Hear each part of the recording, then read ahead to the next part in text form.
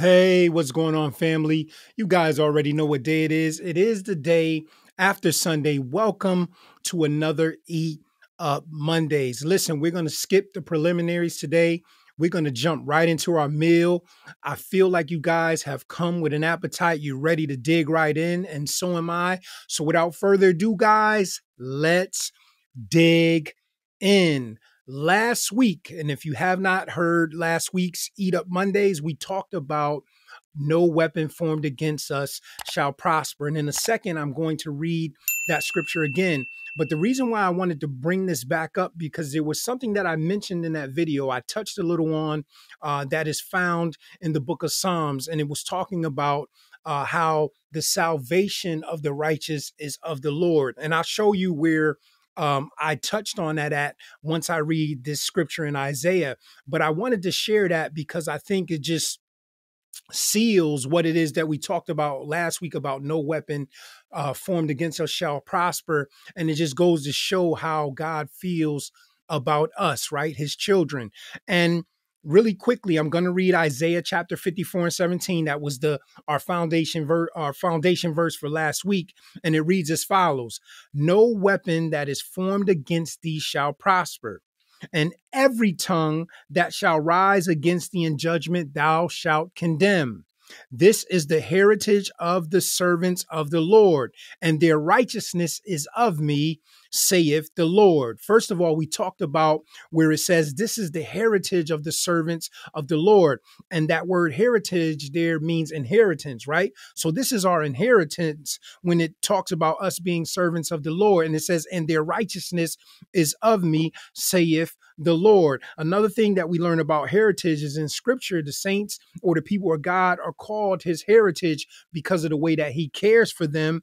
And also because it is him saying that they are mine, right? This is him claiming us. But when I had talked about, and their righteousness is of me, saith the Lord, that's when uh, what came to my remembrance was that Psalm uh, chapter 37 verses 39 through 40 and i talked a little bit about how in that scripture talked about how the salvation of the righteous is of the lord and i didn't get a chance to really explain how I wanted to, what it meant there by the salvation of, right? So we're going to talk a little bit about that this week, and it's just going to seal the deal on what it was we were saying last Monday when it came to the no weapon formed against us shall prosper. Psalm chapter 37, verses 39 through 40, and I'll read through it and then I'll talk about it.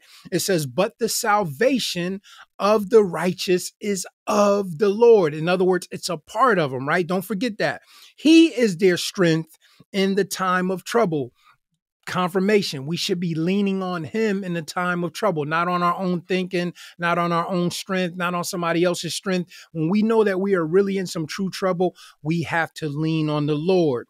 And the Lord shall help them it says he will help you if you're if you're righteous and, and, you are a part of god you abide in god he says that listen he shall help them and deliver them he shall deliver them from the wicked and save them because they trust in him. So, two things we see here that if we are righteous, right, if we are of the righteous, our salvation is a part of them.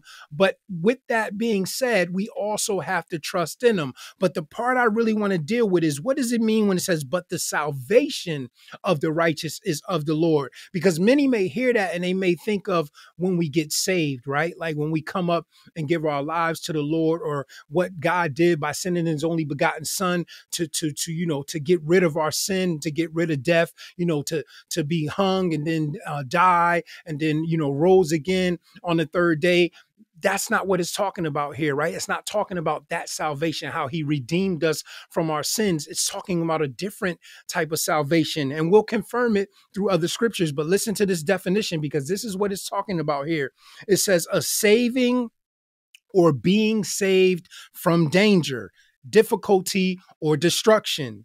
To rescue, listen to that, to rescue. Think about what we're talking about. No weapon formed against us shall prosper. That's what we were talking about last week. It's to rescue, protecting from loss or harm. So the salvation here that is talking about is talking about being rescued in a time of trouble. And that's why he said in that 39 and forty, 40th verse, he says, He is their strength in the time of trouble, and the Lord shall help them. He will help us. If we are a part of Him, we abide in Him. I don't want you guys to forget that. He will help you and deliver you, and He will deliver them from the wicked and save them because they trust in Him. So we have to make sure that not only, um, you know, that we feel good just because we like, oh, I'm, I'm a part of the Lord or I'm saved, I believe in the Lord. But you have to truly, truly trust him, right? And where we get confirmation of that he's talking about saving here as in, in, the form of rescuing, we go back to Exodus 14 and 13 when the children of Israel was coming out of Egypt and Pharaoh was fast on their heels. Listen to what the scripture says. Listen to what Moses said to the people. It says, And Moses said unto the people, first thing, fear ye not. If you're going to trust in the Lord, you have to get rid of all fear. You can't be making movies in your head of what could happen and what might happen. And sometimes, guess what? That can be really hard, but we have to find a way, right?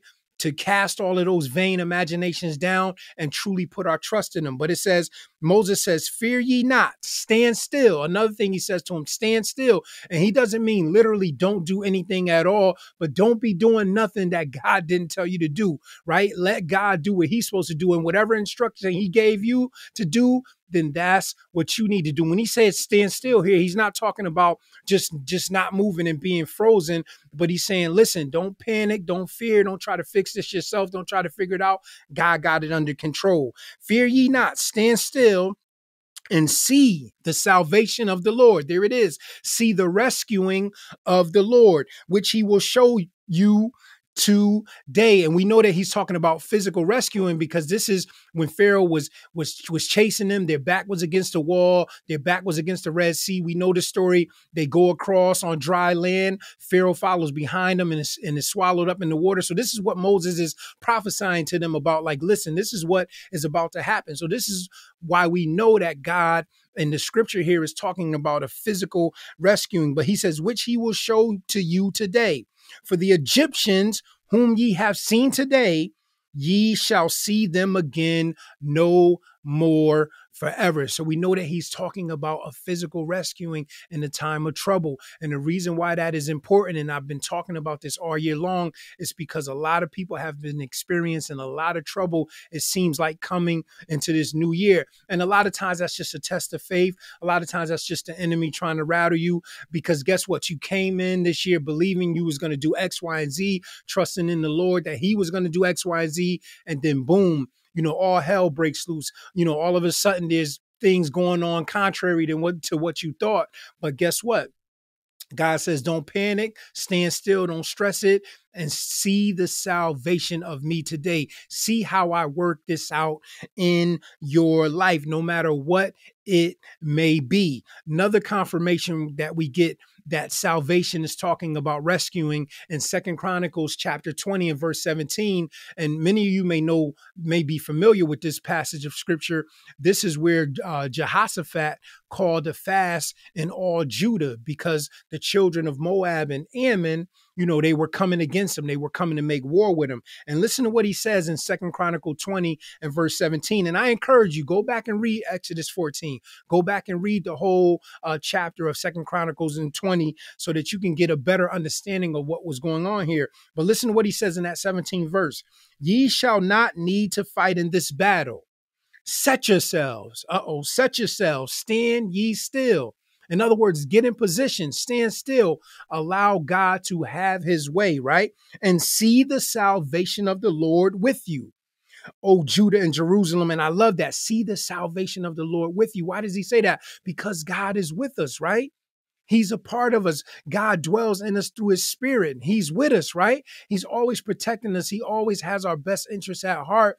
All we have to do is trust him, stand still, allow him to show off like he loves to do. But it says, and see the salvation of the Lord with you, O Judah and Jerusalem. Fear not. There it is again. Nor be dismayed. Tomorrow go out against them, for the Lord will be with you. Further confirmation that this is a physical rescuing here, you know, and we know that there's also a spiritual rescuing that happens for us. But here we're talking about when we are in those physical dangers, when we are in those physical times of possibly, you know, loss or harm. God says, don't even worry about it. I got it all under control. You belong to me, so I am going to take care of you. You don't have to stress anything. But what I need you to do is not find yourself in fear and worried about the different things that have come up against you. Why? Because no weapon formed against you shall prosper. So I just wanted to drill this into you guys even more. You know that, listen, you don't have to sweat anything that the enemy is trying to do or anything that a human being is trying to do whatever is happening, you don't have to sweat it because if you are of the righteous, then that means you're saving, you're rescuing is a part of the Lord. And what does that mean? When something is a part of somebody, that's something they can't get rid of, right? Like it's it's attached to them. You know, he can't flat leave. He's not like a human being where, you know, if things are going good, they're fine with you, they do whatever. But when it's not, they don't have anything for you. No, that's not how the Lord works.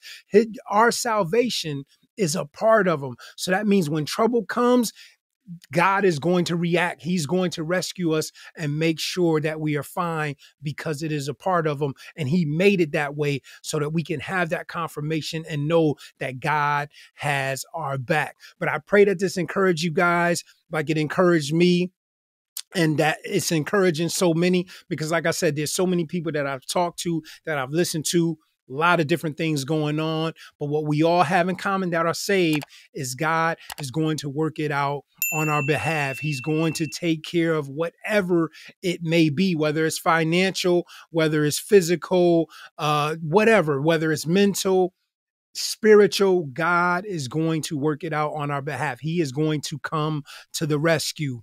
Amen. So know that I love you guys. And until the next time we share a beautiful spiritual meal together, shalom.